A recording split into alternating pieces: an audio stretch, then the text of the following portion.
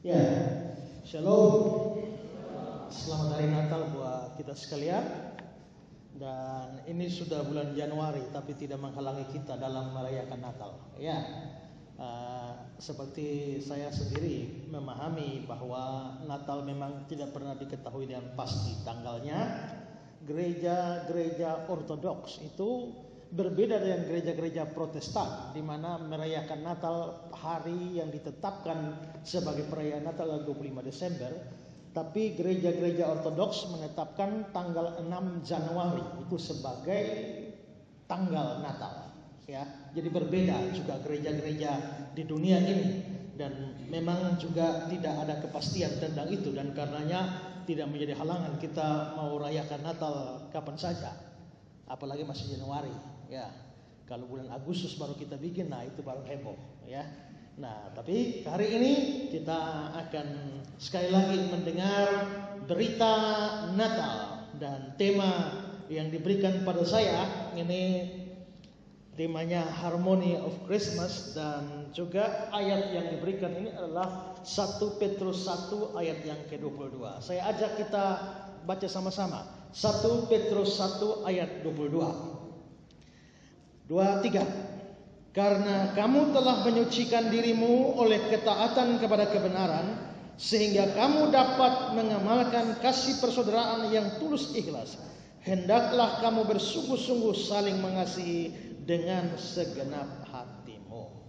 Nah, saudara-saudara yang saya kasih dalam Tuhan Yesus, tema ini Harmony of Christmas dan dari ayat yang diberikan dalam 1 Petrus 1 ayat 2 Ayat yang baru kita baca ini kelihatannya memberikan tekanan utama kepada hal mengasihi. Karena itu dibilang sehingga kamu dapat mengamalkan kasih persaudaraan yang tulus ikhlas. Hendaklah kamu bersungguh-sungguh saling mengasihi dengan segenap hati. Jadi di sini Petrus di dalam suratnya menekankan orang-orang Kristen haruslah adalah orang yang sungguh-sungguh mengamalkan kasih, orang yang mengasihi dengan segenap hati. Nah, saudara-saudara, kalau kita memang melihat konteks dari 1 Petrus pasal 1 ayat 22 ini memang tidak ada hubungan langsung dengan Natal.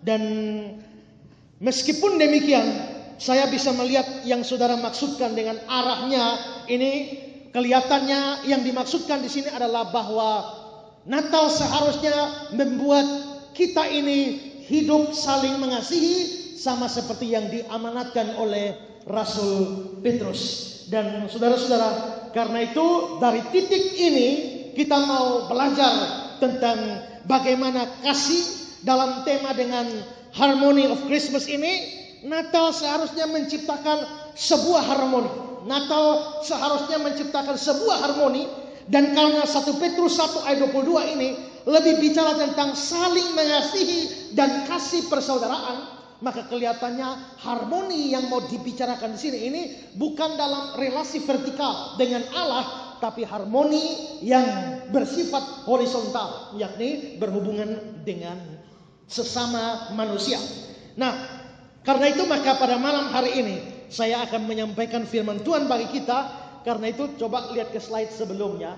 Nah, saya berikan judul kecil di sana, prinsip kasih di dalam Natal. Nah, Natal ini memberikan sebenarnya memberikan beberapa prinsip kasih kepada kita dan memang kasih itu menjadi tekanan utama di dalam Natal. Karena teks kita yang terkenal karena begitu besar kasih Allah akan dunia itu luar biasa. Karena jikalau Allah itu memberikan Yesus Kristus bagi dunia karena kasihnya yang besar, sebenarnya kasih sendiri itu sudah lebih besar. Ketika di 1 Korintus pasal 13, Paulus berkata bilang, kalau aku bisa berkata-kata dalam semua bahasa manusia maupun bahasa malaikat, kalau aku tidak punya kasih, aku hanya seperti gong yang berkumandang. Juga kalau aku biarpun aku mengerti semua pengetahuan, kalau aku tidak punya kasih percuma saja. Kalau aku membiarkan diriku dibakar, tapi kalau aku tidak punya kasih semuanya sia-sia. Berarti dibanding pengetahuan kasih sudah lebih besar. Dibanding karunia kasih sudah lebih besar. dibanding dengan segala macam kesalehan kasih lebih besar. Berarti kasih itu sendiri lebih besar. Tapi ternyata kasih yang besar ini masih dinyatakan lagi karena begitu besar kasih Allah. Berarti kasihnya double besar. Jadi sebenarnya di sini saudara-saudara kasih itu menjadi berita utama di dalam Natal.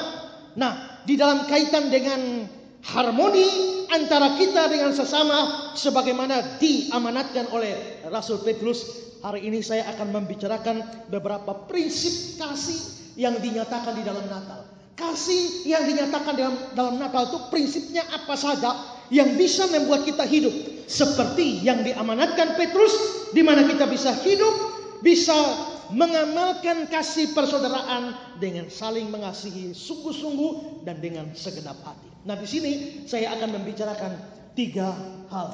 Yang pertama adalah Natal menyatakan kepada kita bahwa kasih itu adalah sebuah action, sebuah tindakan. Alkitab beritahu kita Allah sangat mengasihi dunia ini. Tapi ternyata kasih Allah itu bukan hanya sekedar sebuah perasaan yang ada di dalam diri Allah atau sebuah perasaan yang ada di dalam hati Allah, melainkan satu action, satu tindakan dalam wujud nyata yaitu dengan memberikan Yesus Kristus bagi dunia ini. Kalau kita melihat teks kita Yohanes 3 ayat 16, Saudara perhatikan kata-kata di sana karena begitu besar kasih Allah akan dunia ini. Ini sebuah pernyataan Allah mengasihi dunia ini dengan kasih yang besar. Tapi actionnya ada. Actionnya adalah dia mengaruniakan anaknya yang tunggal. Berarti kasih Allah kepada dunia itu bukan hanya ada di pikiran Allah. Bukan hanya ada di dalam hati Allah. Tapi menjadi sebuah tindakan, sebuah action. Yaitu dengan memberikan Yesus Kristus anaknya bagi dunia ini.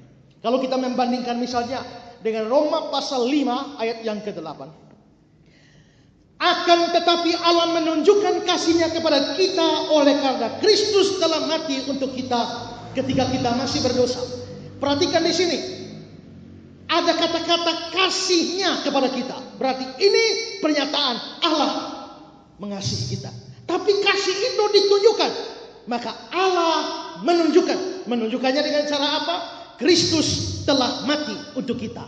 Berarti Allah sifat Allah yang mengasihi bukan hanya di pikiran, bukan hanya di hati, di perasaan, tapi ada actionnya yaitu memberikan Kristus mati bagi kita. Atau contoh lain, 1 Yohanes 4 ayat yang ke-9. Dalam hal inilah kasih Allah dinyatakan di tengah-tengah kita, yaitu Allah telah mengutus anaknya yang tunggal ke dunia ini supaya kita hidup olehnya. Perhatikan ada kata-kata kasih Allah yang saya beri warna merah itu. Nah, kasih itu dinyatakan yang saya garis bawahi warna hitam. Di, dengan action. Actionnya apa? Mengutus anaknya yang tunggal ke dalam dunia. Jadi Natal menyatakan kepada kita bahwa kasih Allah itu adalah sebuah tindakan. Kasih itu adalah sebuah action. Dan berarti kasih adalah sebuah action, bukan perasaan, bukan teori. Seseorang baru bisa disebut orang yang mengasihi kalau dia ada action, dia ada tindakan, dia berbuat sesuatu untuk orang yang dikasihi. Itu baru disebut sebagai kasih. Kalau kita membaca di dalam cerita-cerita Injil, Injil Lukas, ada cerita tentang orang Samaria yang murah hati. Ada orang yang dirampok, turun imam, lewat begitu saja.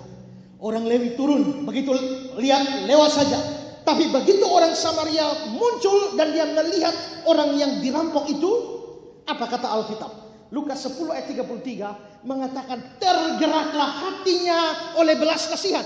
Begitu dia lihat orang yang dirampok, hatinya tergerak oleh belas kasihan. Tapi apakah stop sampai di situ? Tidak. Ternyata belas kasihannya itu diwujudkan melalui dia menolong orang yang dirampok ini, merawat dia, mengobati dia, membawa dia ke rumah penginapan. Berarti belas kasihan yang ada di dalam si Samaria itu terwujud lewat sebuah action. Nah, saudara-saudara, ayat 1 Petrus 1 ayat 22 tadi mengatakan, kita harus mengasihi dengan sungguh-sungguh dan kasih yang sungguh-sungguh terwujud dalam tindakan dan bukan hanya sekedar kata-kata. Coba kita bandingkan dengan Yakobus 2 ayat 15 dan 16. Jika seorang saudara atau saudari tidak punya pakaian dan kekurangan makanan sehari-hari dan, dan seorang dari antara kamu berkata, "Selamat jalan, kenakanlah ikan panas, makanlah sampai kenyang." Tapi dia tidak memberikan kepadanya apa yang perlu bagi tubuhnya. Apakah guna itu? Kamu lapar ya? Selamat jalan. Ya, saya dulu waktu jadi mahasiswa pernah melayani di Surabaya, ditugaskan di satu gereja yang miskin, pendetanya juga miskin. Pendeta ini punya anak lima atau enam, yang paling besar kelas 6 SD. Saudara bayangkan itu istrinya sudah meninggal, semua uh, banyak sekali. Nah, tapi sering kali kelaparan. Satu hari saudara kita sudah tidak makan dua hari. Karena saya pelayanan di situ pun terimbas tidak makan juga. Waktu kami sudah lapar, tiba-tiba ada uh, saya tanya sama dia, pas ada orang lewat sate lewat saya bilang, adek, adek lapar. Dia bilang, iya kak lapar. Sama kakak juga. Ya kan? Nah, tapi dia bisa bikin apa-apa. Nah apa artinya seperti itu? Tidak bisa menolong jikalau itu hanya ada di dalam perasaan. Kita paling-paling hanya bereaksi kasihan ya, kasihan ya, kasihan ya. Tapi kasih yang sungguh-sungguh dinyatakan di dalam Natal itu ada actionnya. Jadi kalau kita mau hidup dalam kasih, kasih itu lebih dari sekedar teori, lebih dari sekedar perasaan. Ada rombongan gereja, rombongan pemuda gereja retreat di sekitar area apa namanya air terjun. Lalu tema mereka adalah kasih. Lalu mereka diskusikan apa itu kasih. Masing-masing kasih pendapat. Kasih itu menurut Shakespeare seperti ini. Kasih itu menurut Ang Tekun seperti ini. Kasih itu menurut toko ini seperti ini, toko ini seperti ini, toko ini seperti ini. Satu pemuda yang ketika ditanya apa konsepmu tentang kasih, dia tidak menyaut. Tidak ada satu teori kasih pun yang dia berikan. Tapi saudara-saudara, tiba-tiba ada suara dari sana, tolong, tolong, tolong. Eh, semua lari, ternyata ada anak jatuh ke dalam air terjun. Nah, apa yang terjadi? Yang tadi tidak punya teori, buka baju dan loncat turun selamatkan anak itu. Tapi yang tadi bilang, kasih menurut Shakespeare seperti ini, tidak berani loncat. Kasih seperti, kasih itu menurut ini seperti ini, seperti ini, seperti ini, tidak ada yang berani loncat. Tapi yang tidak punya teori itu, dia dengan berani, dia meloncat dan menolong anak yang tenggelam. Kasih itu adalah sesuatu action. Ada seorang janda miskin yang sangat menderita kelaparan, kekurangan dan berkali-kali dia minta pertolongan pada seorang pendeta. Bagaimana ini lapar, haus, tidak punya rumah dan sebagainya. Ini pendeta hanya punya alasan, ya akan saya doakan. Nanti kita lihat bagaimana kami bisa menolong. Nanti biarkan saya rapat dengan para majelis, baru kami pikirkan bagaimana menolong. Tapi hanya habis dirapat, habis di doa tidak pernah ada action. Satu hari saudara-saudara di meja pendeta itu datanglah sebuah surat, surat dari janda miskin tadi. Suratnya bunyinya bagaimana? Suratnya bilang begini, aku kelaparan dan Anda membentuk kelompok diskusi untuk membicarakan kelaparanku. Aku terpenjara dan Anda menyelinap ke kapel dan berdoa untuk kebebasanku. Aku telanjang dan Anda mempertanyakan dalam hati kelayakan penampilanku. Aku sakit dan Anda berlutut mengucap syukur atas kesehatan Anda. Aku tidak mempunyai tempat berteduh dan Anda berkhotbah kepadaku tentang kasih Allah sebagai tempat berteduh spiritual. Aku kesepian dan Anda meninggalkanku untuk berdoa bagiku. Anda kelihatan begitu suci, begitu dekat dengan Allah, tapi aku tetap amat lapar, amat dingin, dan amat kesepian. Saya kira ini adalah satu protes bagi kasih yang hanya diungkapkan lewat kata-kata saja, tapi tanpa perbuatan, tanpa action. Natal mengajarkan kepada kita Allah mengasihi dunia dan ada actionnya. Actionnya adalah memberikan Kristus kepada dunia ini. Maka prinsip di dalam Natal yang harus kita pegang adalah kalau kita mau hidup di dalam kasih seperti yang diamanatkan 1 Petrus 1 ayat 22 ini maka harus ada action di dalam semua hidup kita. 1 Yohanes 3 ayat 18 mengatakan, "Anak-anakku, marilah kita mengasihi bukan dengan perkataan atau dengan lidah, tapi dengan perbuatan dan dalam kebenaran." Jadi prinsip pertama adalah Natal mengajarkan pada kita kasih itu adalah sebuah action atau tindakan. Sekarang yang kedua, prinsip kedua.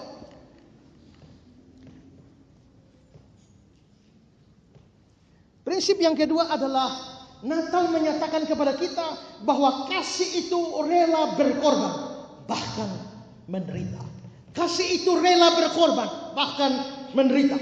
Kasih Allah di dalam Natal dinyatakan lewat pemberian anaknya bagi kita. Beberapa hari lalu saya berkhotbah di satu gereja khotbah Natal. Tema yang diberikan adalah hadiah terbesar. Dan saya mengatakan bahwa hadiah terbesar di dalam Natal itu adalah hadiah dari Allah. Dan hadiah itu adalah Kristus. Dan hadiah ini terbesar. Mengapa sampai hadiah Natal ini terbesar? Karena hadiah yang diberikan oleh Allah itu adalah anak. Dia tidak memberikan seorang malaikat sebagai hadiah. Tapi dia memberikan anaknya sendiri sebagai hadiah bagi kita bagi dunia ini. Anaknya ini lagi bukan cuma anak, tapi anak yang dikasihi. Anak yang dikasihi itu yang diberikan. Bukan cuma anaknya yang dikasihi, tapi anak itu adalah anak tunggal. Dan lebih daripada itu adalah anak itu diberikan untuk dibunuh mati. Karena Yesus Kristus datang ke dunia untuk dibunuh mati menjadi penebus dosa. Semua manusia lahir untuk hidup. Tapi Yesus Kristus adalah satu-satunya orang yang lahir dengan tujuan supaya bisa mati. Nah bayangkan bahwa Allah memberikan hadiah bagi dunia, memberikan anaknya, anaknya yang tunggal, anaknya yang dikasihi, dan anak itu untuk dibunuh mati. Kalau saudara punya anak, jangankan satu, sepuluh orang minta satu, mau kasih? Mungkin mau. Tapi kalau punya sepuluh, minta satu. Untuk apa? Untuk dijadikan sate. Tidak ada orang yang waras yang mau. Tapi Allah justru memberikan anaknya untuk dibunuh mati. Berarti hadiah Natal ini adalah hadiah terbesar. Dan karena Yesus Kristus diberikan di dalam dunia ini untuk dibunuh mati dengan cara yang brutal. Yaitu dengan cara disalib. Saudara bayangkan Entah bagaimana hancurnya perasaan Allah Bapa ketika Yesus Kristus disalibkan. Bagaimana hancurnya perasaan Allah Bapa ketika anaknya berteriak Eli, Eli lama sabatani. Tapi dia lakukan itu karena kasih. Semua sukar digambarkan bagaimana perasaan Allah. Tapi pasti ada satu pengorbanan yang luar biasa yang membuat Allah Bapa menderita. Karena pemberiannya itu. Di dalam Alkitab Perjanjian Lama, saya tidak tahu saudara pernah baca atau tidak. Tapi beberapa ayat Perjanjian Lama menunjukkan bahwa dosa secara umum, dosa itu membuat Allah menjadi bebannya sangat berat. Bahkan dalam kitab Yesaya dibilang dikatakan bahwa Allah sangat kepayahan dengan dosa-dosa manusia. Coba kita lihat Yesaya 1 ayat yang ke-13. Jangan lagi membawa persembahanmu yang tidak sungguh. Sebab baunya kejijikan bagiku. Kalau kamu merayakan bulan baru dan sabat atau mengadakan pertemuan-pertemuan, aku tidak tahan melihatnya. Orangnya berdosa, tapi ibadah terus. Berbuat dosa terus, tapi membawa persembahan terus. Pada waktu orangnya berdosa seperti itu, Tuhan bilang, aku tidak tahan melihatnya. Karena perayaanmu penuh kejahatan. Ayat 14. Perayaan-perayaan bulan baru dan pertemuan-pertemuan yang tetap. Aku benci melihatnya. Semuanya itu menjadi beban bagiku. Aku telah payah menanggungnya. Jadi saudara, dosa manusia secara umum membuat dikatakan bahwa Allah telah payah menanggungnya. Itu menjadi beban berat bagi Allah. Yesaya 43 ayat 24. Engkau tidak membeli tebu wangi bagiku dengan uang atau mengenyangkan aku dengan lemak korban sembelianmu. Tetapi engkau memberati aku dengan dosamu. Engkau menyusahi aku dengan kesalahanmu. Engkau memberati aku dengan dosamu. Berarti waktu orang berdosa itu sama dengan bikin Tuhan Allah berat sekali. Engkau menyusahi aku dengan kesalahanmu. Waktu kata kita membuat salah, seolah-olah membuat Allah begitu susah. Satu ayat lagi, Maliaki 2 ayat 17 dikatakan, kamu menyusahi Tuhan dengan perkataanmu. Tetapi kamu berkata dengan cara bagaimana kami menyusahi dia. Dengan cara kamu menyangka setiap orang yang berbuat jahat adalah baik di mata Tuhan. Kepada orang-orang yang demikian dia berkenan. Atau jika tidak, di manakah Allah menghukum? Kamu menyusahi Tuhan. Berarti dosa secara umum bikin susah Tuhan, bikin berat Tuhan, bikin Tuhan payah menanggungnya. Itu dosa secara umum. Saudara-saudara, kalau dosa secara umum bikin Tuhan kepayahan, kalau dosa secara umum bikin Tuhan begitu berat, begitu susah, sekarang bayangkan bagaimana dengan dosa terbesar yaitu menyalibkan anaknya yang tunggal. Bagaimana perasaan Tuhan Allah? Jikalau dosa biasa secara umum bikin susah Tuhan Allah, maka saya yakin dosa pembunuhan atas anaknya membuat dia susah berlebih-lebihan. Kalau dosa biasa membuat Tuhan begitu payah menanggungnya, saya percaya dosa penyaliban kepada anaknya membuat dia betul-betul payah, menderita, sengsara. Kalau begitu saudara-saudara dengan Natal yaitu Allah memberikan anaknya yang tunggal bagi dunia dan dunia nanti membunuh, menyalibkan anaknya yang tunggal. Itu berarti ada pengorbanan yang luar biasa dari Allah dan penderitaan yang luar biasa. Maka di sini kita melihat prinsip di dalam Natal. Natal mengajar pada kita bahwa mengasihi itu berarti harus rela berkorban dan bahkan menderita. Kasih Allahku sungguh telah terbukti ketika dia serahkan anaknya dia serahkan anaknya, kasihnya menjadi terbukti dan itu penderitaan yang luar biasa.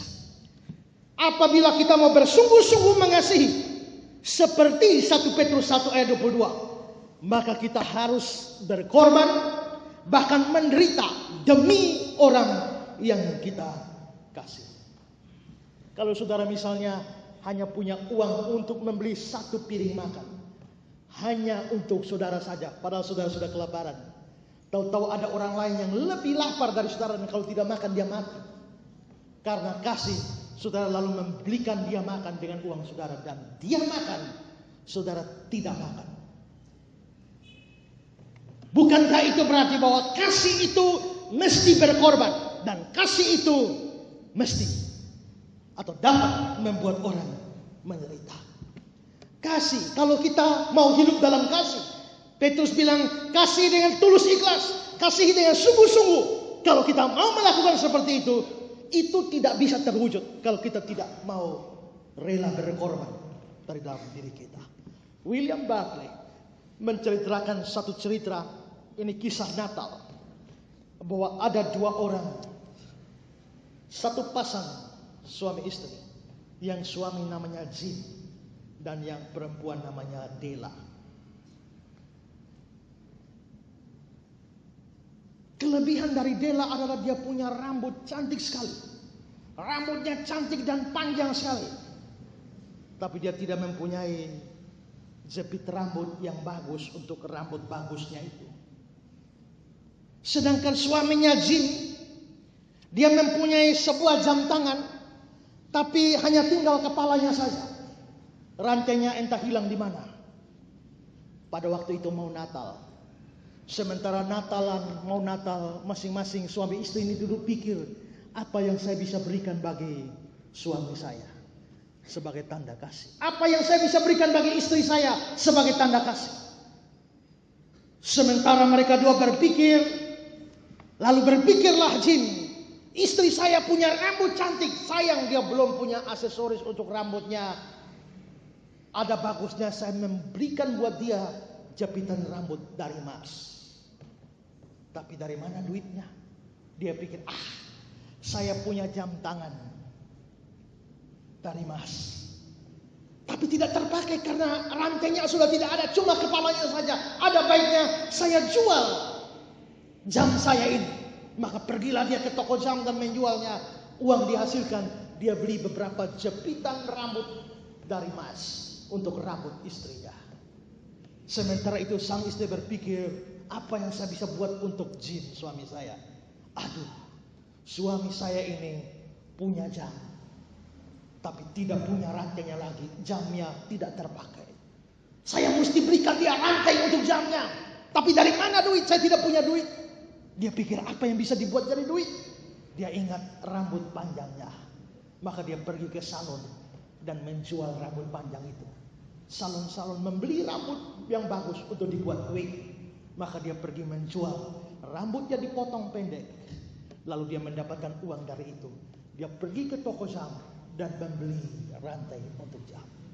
Tiba hari Natal, dua orang ini yang bertemu untuk saling memberikan hadiah. Pada waktu jepitan rambut emas datang untuk rambut panjang, rambut panjang itu sudah tidak ada.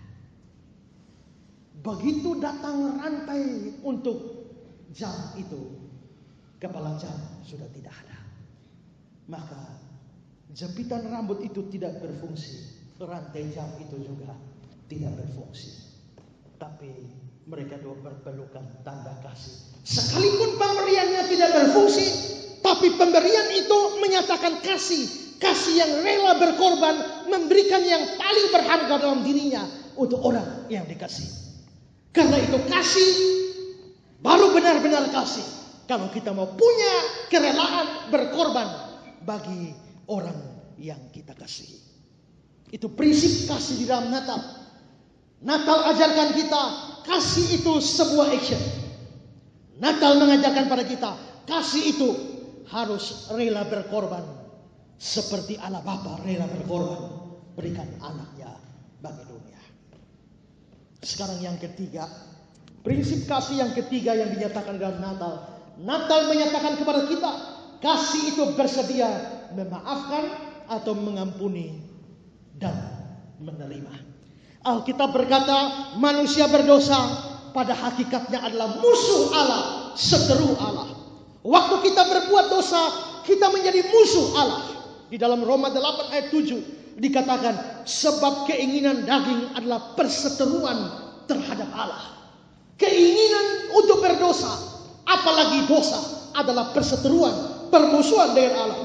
Sebagai seteru Allah, seharusnya Allah tidak mengampuni kita, bahkan Dia harus membinasakan kita. Tapi bukan itu yang terjadi di dalam Natal. Di dalam Natal Allah justru memberikan anaknya Yesus Kristus menjadi jalan pendamaian bagi kita dengan dirinya. 2 Korintus 5, 18, 19 berkata, Dan semuanya ini dari Allah, yang dengan perantaraan Kristus telah mendamaikan kita dengan dirinya. Sebab Allah mendamaikan dunia dengan dirinya oleh Kristus. Berarti manusia berdosa yang adalah musuh Allah sekarang didamaikan melalui Kristus. Tapi bagaimana Kristus bisa datang? Karena Allah Bapa mengutus Kristus melalui Kristus yang nantinya mati di kayu salib. Allah sebenarnya menawarkan pengampunan bagi orang berdosa dan menerima orang berdosa yang percaya, yang tadinya seteru, sekarang diterima bukan lagi seteru, tapi menjadi anak. Di dalam Galatia 4 ayat 5, dia diutus untuk menebus mereka yang takluk kepada hukum Taurat supaya kita diterima menjadi anak. Dalam Alkitab Inggris King James dibilang adoption of son.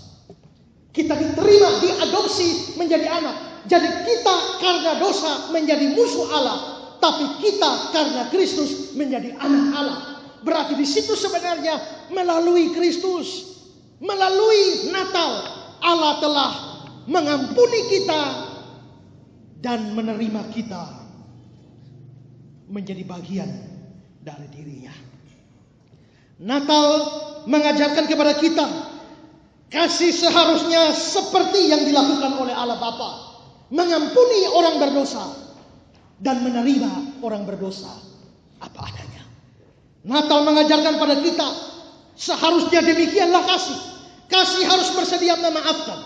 Kasih harus bersedia mengampuni dan menerima orang yang bersalah kepada kita. Jika tidak, maka kita belum hidup di dalam kasih. Kalau kita belum mengampuni, kalau kita belum memaafkan, kalau kita belum menerima orang yang bersalah kepada kita, maka kita belum hidup di dalam kasih. Jika Natal membuat kita mendapatkan pengampunan dari Allah, mengapa Natal tidak membuat kita mengampuni orang yang bersalah kepada kita? Di Kentucky, ada seorang yang namanya Sam Holmes. Dia dituduh dengan suatu kejahatan tingkat tinggi dan dijatuhi hukuman mati. Maka Sam Holmes dijatuhi hukuman mati, tinggal menunggu tanggal eksekusi. Tapi Sam Holmes mempunyai seorang teman namanya Edward Young. Dan Edward Young ini mengenal baik wali kota Kentucky. Dan dia pergi menghadap wali kota itu dan dia meminta untuk peringanan hukuman dari hukuman mati menjadi hukuman seumur hidup, tidak jadi dieksekusi mati. Maka Lucian Yang ini pergi. Dia bilang kepada, dia minta kepada wali kota, wali kota bersedia memberikan pengampunan dan Sam Holmes tidak jadi dihukum mati. Tapi saudara, pada waktu uh, Lucian Yang ini pergi ke penjara, dia kepengen menyampaikan berita pembebasan ini, berita pengampunan ini kepada temannya Sam. Tapi pada waktu dia di penjara, dia tanya dulu sama Sam, Sam, kalau misalnya hari ini ada berita bahwa kamu tidak jadi dihukum mati dan kamu akan bebas. Apa yang akan kamu lakukan pertama kali? Sam berkata, kalau saya sampai tidak dihukum mati dan keluar dari sini, hal pertama yang saya lakukan, saya akan cari hakim yang telah memfonis saya, saya akan bunuh dia. Kedua, saya akan cari orang yang men, yang menuduh saya dan saya akan bunuh dia. Lalu Temannya Lucian Yung dengan sedih berbalik dan pergi. Kembali kepada wali kota dan mencabut semua permintaannya. Dan membiarkan temannya Sam dieksekusi mati. Saudara, pengampunan untuk Sam menjadi batal karena Sam tidak bersedia mengampuni orang yang bersalah. Beberapa waktu lalu saya berkhotbah Natal tentang pengampunan. Saya membaca sebuah kisah nyata bagaimana seorang ibu berkulit hitam ada penjahat yang datang menangkap suaminya dan membawa dan di sebuah pinggir satu-satu pinggir sungai suaminya diikat dan dibakar sampai jadi abu. Sementara polisi belum menemukan pelakunya, pelaku itu datang sekali lagi dan menangkap anaknya dan dibawa ke pohon yang sama di sungai yang sama dan dibakar di sana sampai jadi abu. Jadi ibu ini telah kehilangan suami dan anak karena dibakar oleh penjahat itu. Dan saudara-saudara, akhirnya si penjahat itu berhasil ditangkap. Dalam sidang, sebelum sidang mau dilakukan, ibu ini ada di sana. Hakim bertanya kepada ibu itu, apa permintaan ibu ini dalam kasus ini sebelum disidang. Lalu ibu kulit hitam ini berkata begini, saya minta tiga hal. Permintaan saya pertama adalah saya minta dibawa ke tempat di mana dia bakar suami dan anak saya. Supaya saya mau mengambil debunya untuk di, dikuburkan secara layak. Itu permintaan saya pertama. Permintaan kedua adalah begini. Saya ini hanya mempunyai satu suami dan satu anak. Kasih saya kepada suami dan anak itu begitu besar. Tapi suami dan anak saya sudah dibunuh oleh penjahat ini. Tapi kasih saya kepada mereka belum habis. Sekarang suami dan anak yang menerima kasih sudah tidak ada. Tapi kasih masih ada. Ini kasih mau diberikan pada siapa? Karena itu saya minta Pak Hakim yang terhormat. Saya minta penjahat yang telah membunuh suami dan anak saya ini. Saya minta dia jadi anak angkat saya supaya saya bisa menyalurkan kasih saya kepada dia. Permintaan ketiga, saya sudah tidak kuat berjalan. Saya minta ada di antara kalian yang membantu saya berdiri berjalan ke depan penjahat ini. Saya ingin memeluk dia untuk menyatakan bagaimana saya mengampuni dia. Pada waktu si penjahat mendengar kata-kata itu menangis dia sampai pingsan. Begitu dia pingsan, teman-teman ibu yang kulit hitam ini semua langsung bangkit berdiri dan sama-sama bernyanyi Amazing Grace. Saudara-saudara, jikalau Natal memang mencapai hati kita, maka harus ada kerelaan untuk mengampuni orang-orang yang bersalah kepada kita. Hidup selama satu tahun 2015 mungkin ada yang punya musuh tapi sudah masuk tahun 2016 mungkin stok musuh masih ada. Kalau masih ada, saudara harus rela mengampuni dan memaafkannya. Itu bukti saudara hidup dalam kasih. Natal mengajarkan pada kita kasih bukan hanya sebuah teori tapi action. Kasih rela berkorban bahkan menderita. Kasih bersedia memaafkan dan mengampuni serta menerima. Kalau hari ini saudara merayakan Natal, ambillah komitmen untuk hidup dalam kasih sehingga Natal benar-benar punya arti bagi saudara. Lakukan semua itu sambil ingat kembali nasihat Petrus 1 Petrus 1 ayat 22 karena kamu telah menyucikan dirimu oleh ketaatan kepada kebenaran. Sehingga kamu dapat mengamalkan kasih persaudaraan yang tulus ikhlas. Hendaklah kamu bersungguh-sungguh saling mengasihi dengan segenap hatimu. Selamat Natal, selamat mengasihi. Tuhan memberkati kita. Amin. Mari kita berdoa. Tuhan, terima kasih untuk firman Tuhan malam hari ini kami menemukan prinsip-prinsip kasih di dalam peristiwa Natal. Kami sadar bahwa kasih Allah yang dinyatakan di dalam Natal adalah sebuah action. Bukan hanya perasaan di dalam diri Allah, tapi diwujudkan lewat perbuatan.